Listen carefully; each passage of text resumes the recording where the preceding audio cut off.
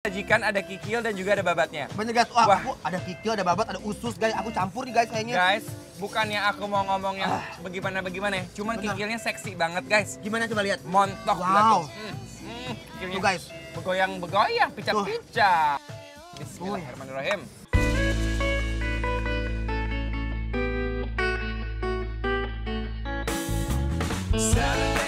Guys, ada babatnya, ada ususnya. Wow.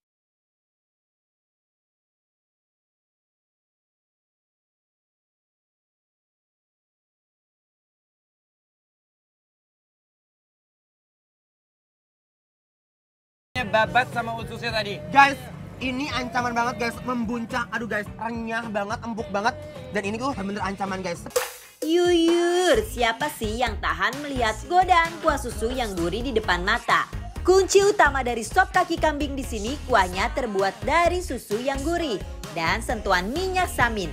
Aduh, kalau dihadapkan sama makanan yang berkuah-kuah kayak gini, gimana perut ini nggak bergejolak sih guys?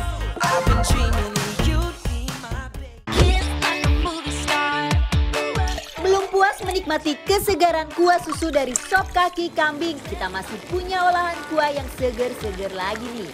Ini dia tongseng kambing dari Tengkleng Solowi. Walaupun pemeran utamanya sama-sama kambing, tapi jenis olahan kuahnya sungguh berbeza loh. Saatnya dieksekusi nih sama Anwar dan Ces. Lihat guys. Lihat guys. Ini bener-bener aromanya tuh leko banget. Guys, Yuk. ini menurut aku ya War, dari Ya. kuahnya aja aku udah bisa menafsirkan bahwa tongseng ini dijamin 100% endul. All my worldly things were aside. Lanjut guys, kita sikat ya. Jangan kasih ampun. Ayo mending kita makan. Ya Guys, itu. bismillahirrahmanirrahim. Kalian tahu nggak sih asal tongseng kambing ini dari mana? Konon katanya makanan olahan berkuah satu ini berasal dari daerah Boyolali, Jawa Tengah. Pantes aja setiap sudut kota Boyolali banyak banget pedagang jual aneka tongseng. Makanya kenapa? Aroma dari si kambingnya balik lagi. Benar. Dia nggak tercemar ke mana-mana sama kuahnya. Punya Benar. rasa tersendiri. War, Iya. lihat War. Apa tuh? Kuahnya dong. Jangan pakai sambar my love. Hayu, hatu. Ya. Soalnya kenapa? Bawaannya memang dia pedasnya cuma karena dari rempah-rempah bawaannya. Nggak ada dari cabenya. Nih, Hayu, hayu, hayu. udah ulang, say. Bismillahirrahmanirrahim. Yang di rumah, hayu ikutan makan. Belawak dangdung dingser. Are you keeping it real?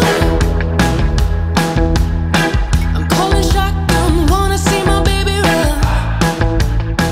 Yeah, I wanna. Gimana guys makanan berkuah barusan? Langsung bikin mata kalian pada seger kan? Nah kalau ketinggalan langsung aja kepoin di Instagram at Bikin Trans TV.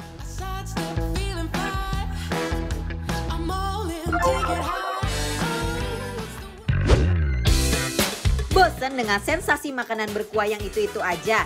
Eits, tenang, setelah ini Inces dan Gilang mau mukbang Tom Yam Suki yang kuahnya bikin lambung menggelora. Tetap dibikin lapar.